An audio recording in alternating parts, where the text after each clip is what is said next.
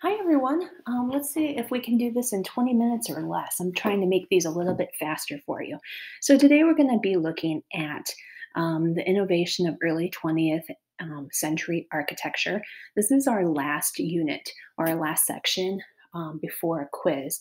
Um, I will lay out um, our, my plan for next week through Canvas for you, but we will take some sort of formative quiz. I don't think I can give you a summative quiz um, online yet. Uh, we might have to do that later, um, but as of right now, that's been the directive. Um, that we shouldn't um, give you anything summative. So, if other teachers are, make sure you contact their um, instructional coordinators. So, let's go ahead and get going.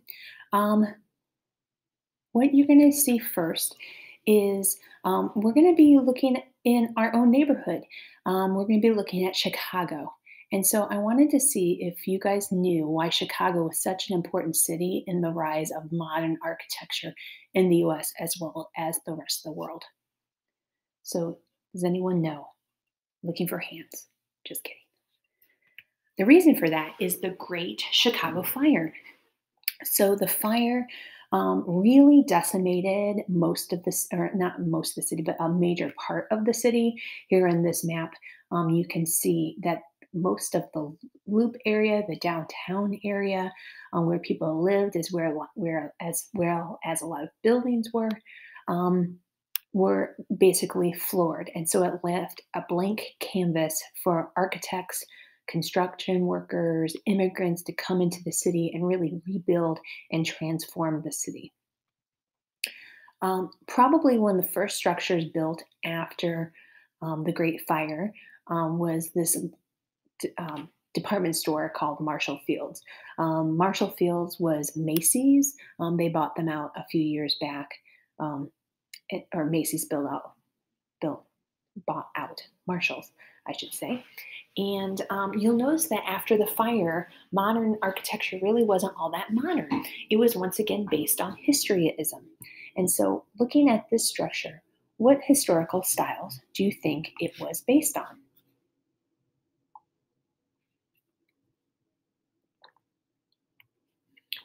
Um, you might say it looks a lot like Roman art history, right? With rounded arches.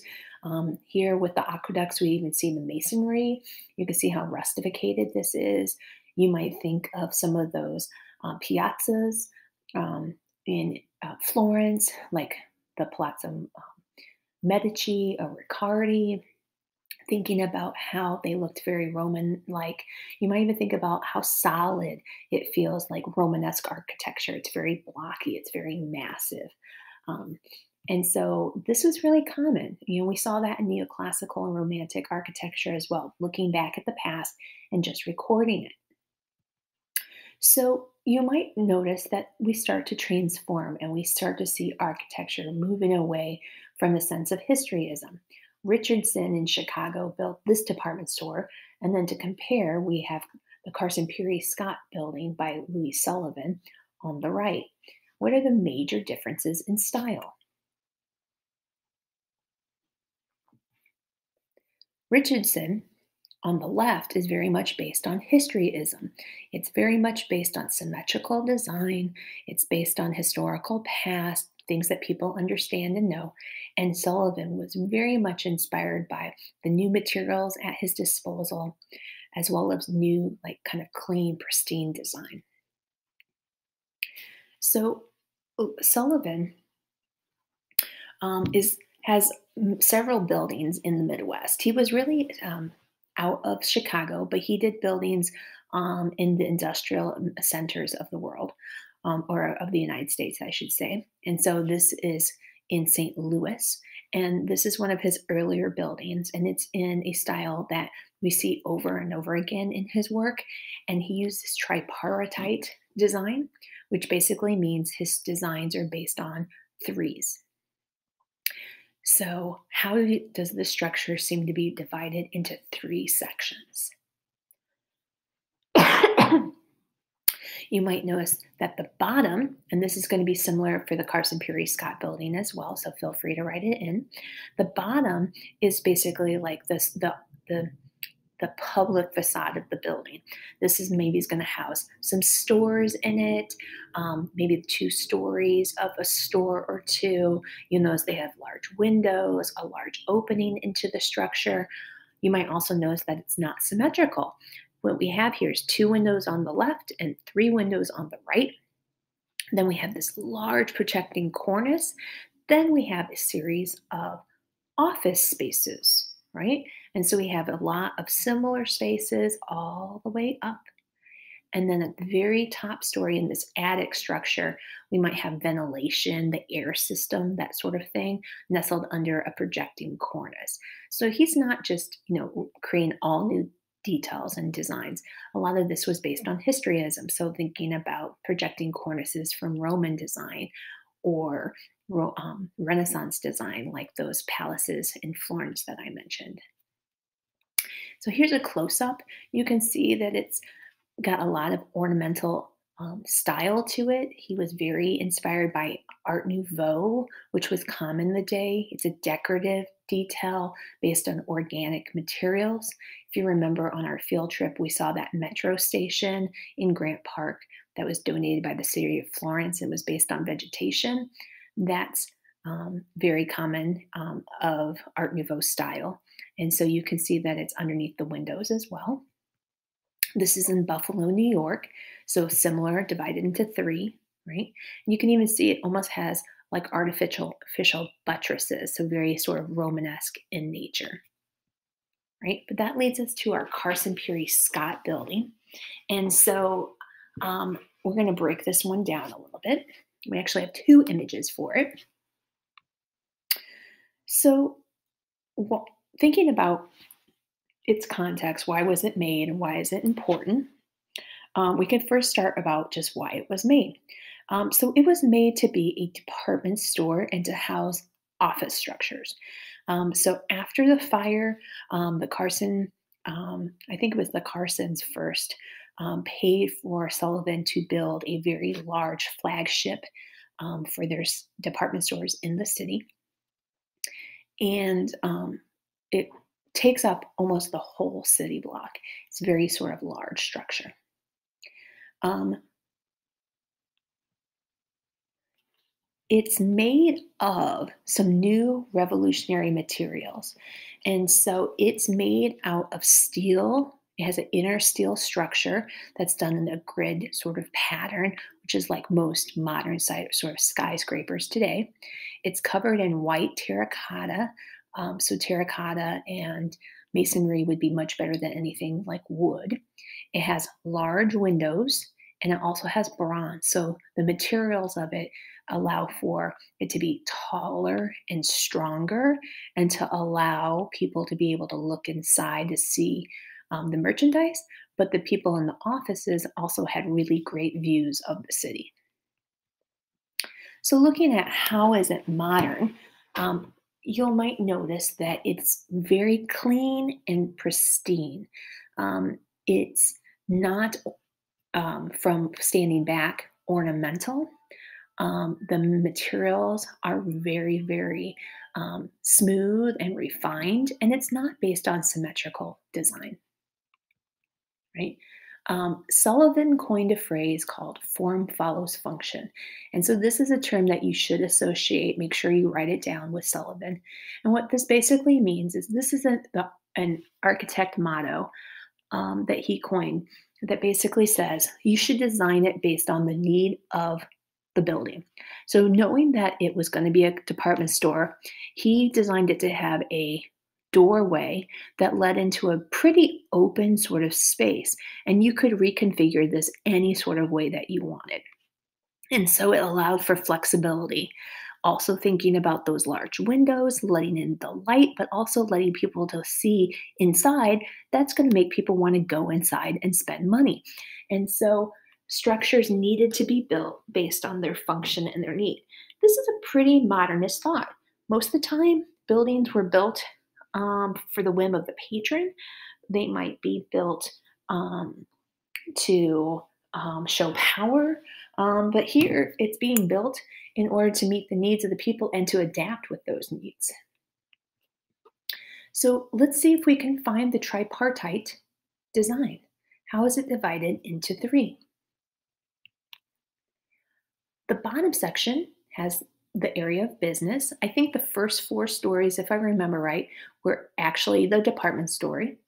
Then we have our middle section, which is the office spaces. And then we have the attic story and the cornice at the very top. And so you'll notice how the design changes on each of these sections. What do you think the focal point is? Where's the emphasis on the structure?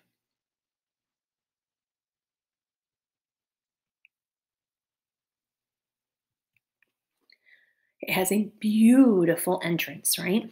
And you'll notice that that entrance is underneath a curved area.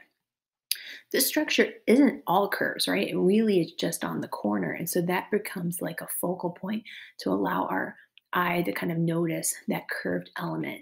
And so the entrance is covered in this bronze Art Nouveau style. It's almost like these vines are like covering the surface. And so it really draws you in with its beauty. It's a close up for you guys. You can see how thick it feels. Um, it's like feels like it's in like really um, taking over the structure of the of it. And so this would be a popular style with the people um, of the day. And so it makes sense, you know, you know, to tantalize the people with this really beautiful sort of visual elements to get them inside your structure right? Um, this is a really badly pixelated um, image, but you can really see how large the windows are so that you can see the merchandise. You can see here too that today it's a Target. Um, so I'll use that as an example when we talk more about the interior space.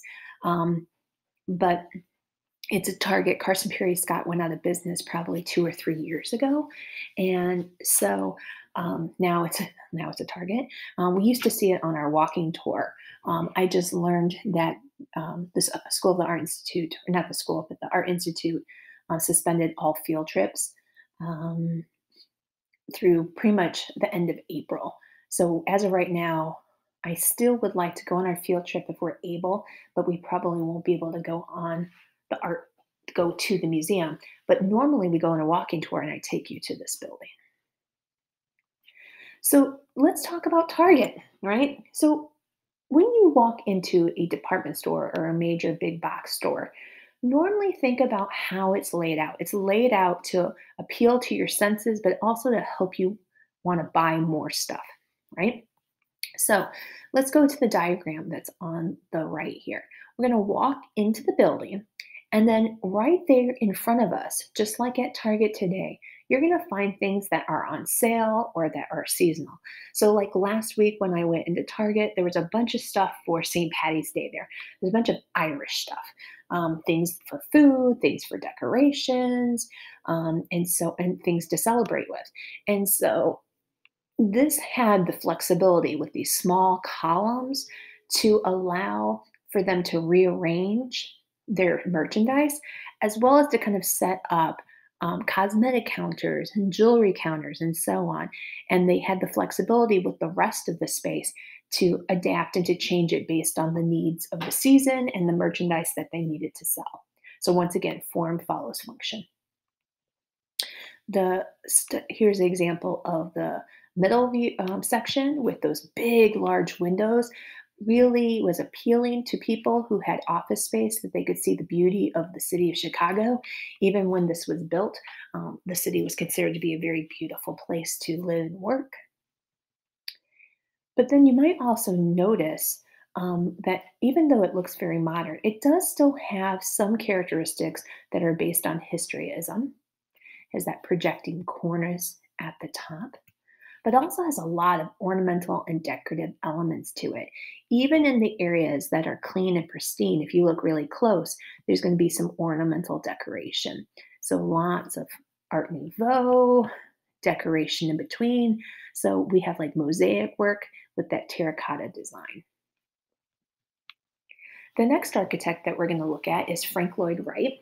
And so, if you remember our field trip in the fall, we went to Robie House in Hyde Park. Um, you might notice that it or you might remember that it's kind of built on a ship. There's like a prow, the front of a ship over here, and there's this long, sort of longitudinal sort of element to the structure. Um, he, his structures were pretty revolutionary for the day. Um, he has a garage that is connected to this. Um, most of us have garages that are connected to our houses today, but most houses during this time had separate structures for your garage. And so this was pretty revolutionary. His style is really known for the as the prairie school. Um, he would include the house or the building and nestle it into its natural environment. He'd do this by using a lot of horizontal slabs so that it kind of was flat and, and kind of conformed to the natural surroundings, kind of like inserted into it. So you can see um, that you actually see a lot of the masonry and not a lot of the structure when you're on the ground here. It gave it kind of a secluded feel. You could kind of look out and enjoy nature, but there is also a sense of privacy. Um, this is um, at the University of Chicago um, or in the neighborhood. And so that university had already existed, um, but it also wouldn't have been as nearly as built up. And so there would have been um, prairies outside of here, or at least some fields for them to see, but then also gave them privacy from people walking by. So you might notice that it is based on three stories. Um, the first two stories are really centralized based on a staircase and a fireplace, and you see the same staircase on the third story. The very bottom was kind of like the play area, it had the garage and the driveway, but then also had a playroom for the children and billiards for the adults. The main living space was on the second story, and the fireplace divided a living as well as a dining. And you notice those elements that make it look like a ship on the edges here. Um, this is the entertaining floor, and then the private floor where the bedrooms were were at the very top. So Frank Lloyd Wright was known for a lot of innovation in his time. When we look at Falling Waters, we'll be able to identify even more. But he was kind of a control freak. Um, he designed all of the structure as well as the furniture that you see, the built-in furniture. You notice this dining um, like hutch area, um, armoire to keep, keep the um, the dishes is kind of built into the wall. You know, all of those would have been se- separate pieces of furniture before his day. Um, he designed the stained glass windows, the light fixtures that you see built in. Um, he invented skylights, or at least was one of the first people to use skylights to let, let natural light into the structures. He even designed a gown for Mrs. Robie to wear when she was in this dining room and in the living space, um, hosting her guests. The Robies only lived in this house for about four years. Um, he, Frank Lloyd Wright, liked to use revolutionary materials. And so underneath these windows was some masonry, but also he used a lot of plywood.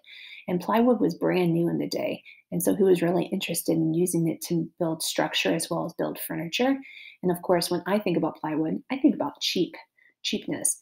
And it didn't really stand the test of time. Um, the Robies lived in the house, like I said, four years because it was so cold in the winter, they couldn't get the house above 40. So you can imagine how uncomfortable it was to live in this space at times.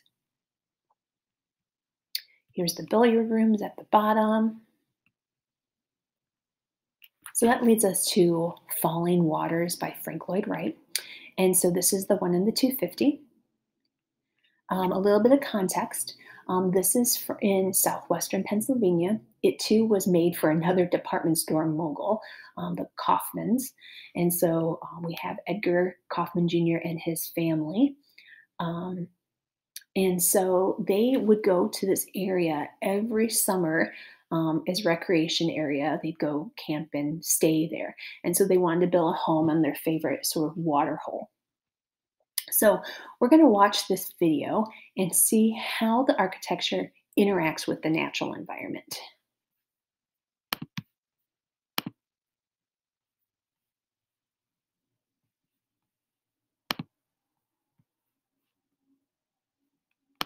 Maybe. Let me get this plane first. My screencastify stuff is in the way. There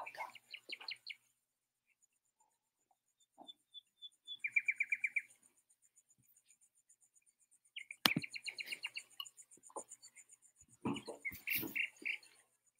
So we're looking for how it is integrated in the natural environment.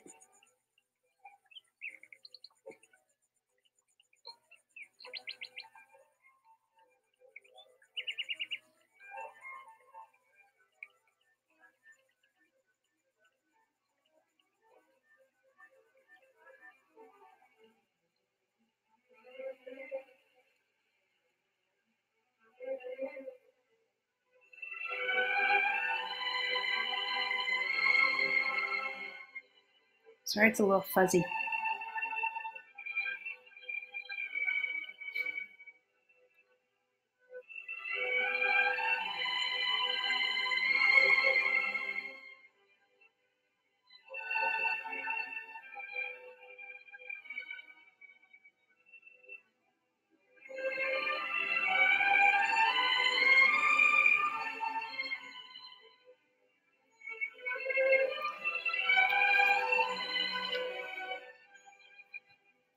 So notice how it's kind of built over the water.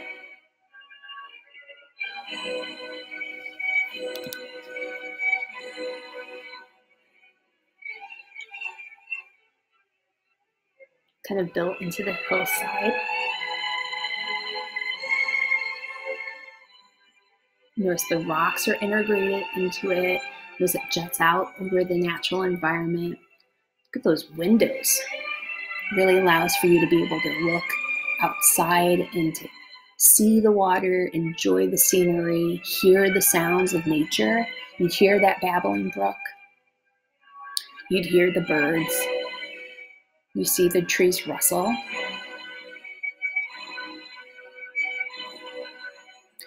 I'll try to attach this video for you as well so that you can maybe watch it a little bit clearer.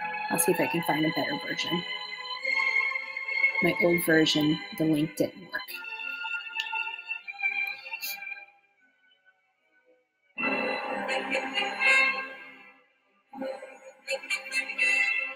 I think we're getting ready to go inside if I remember right.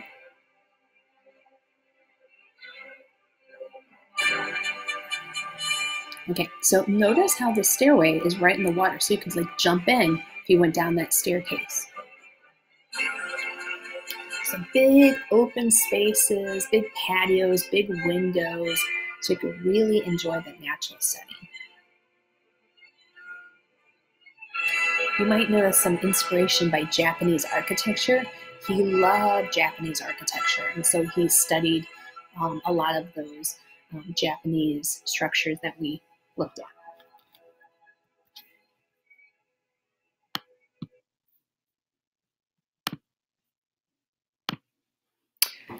Okay, so how is it in the natural environment? Um, supposedly, he designed this structure on a um, drive from Milwaukee to Taliesin.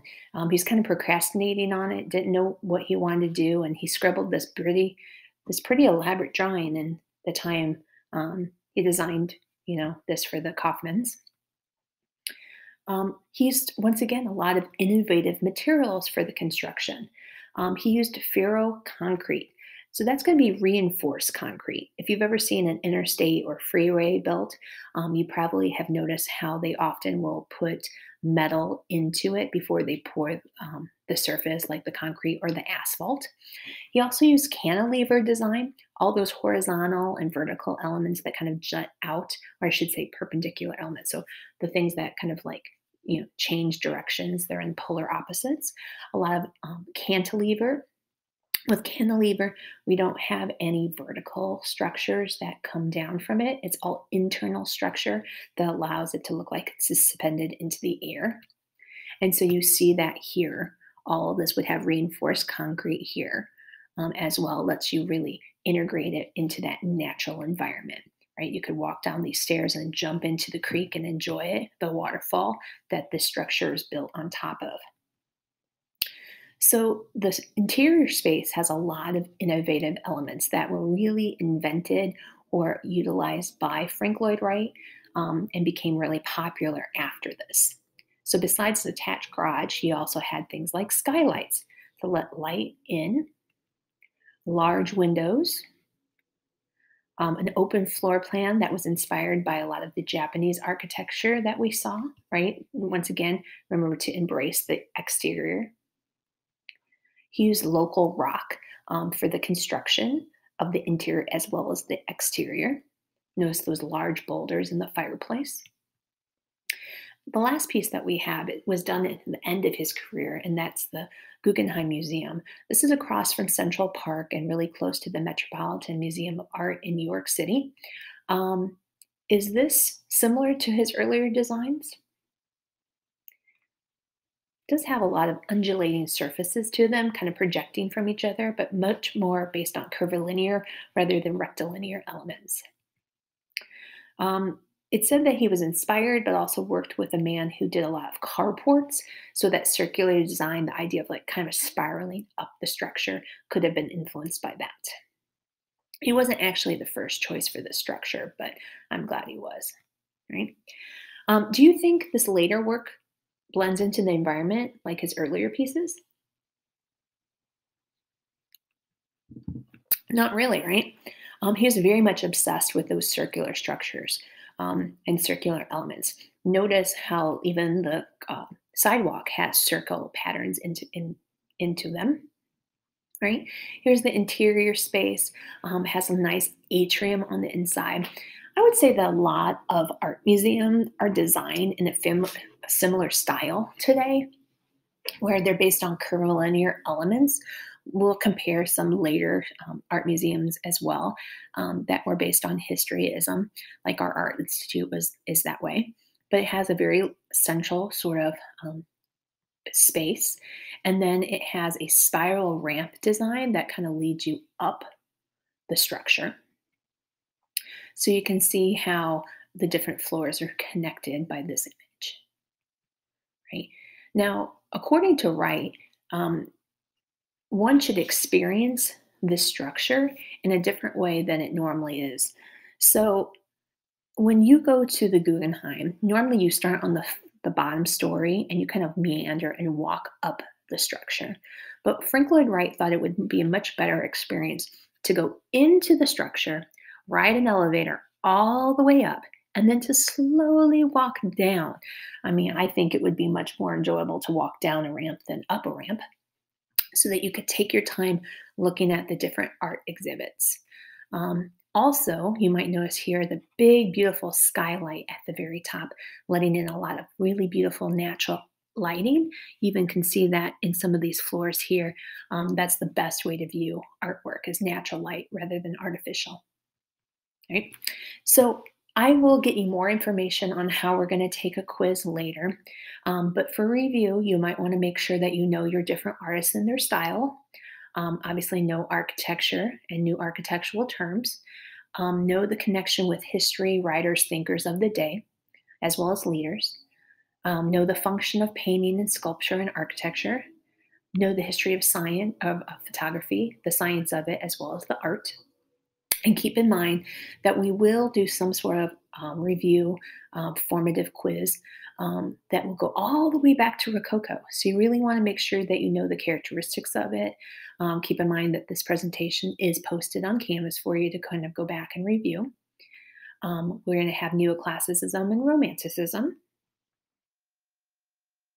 We'll have our rest in peace. So we'll have our realism, impressionism, and post-impressionism.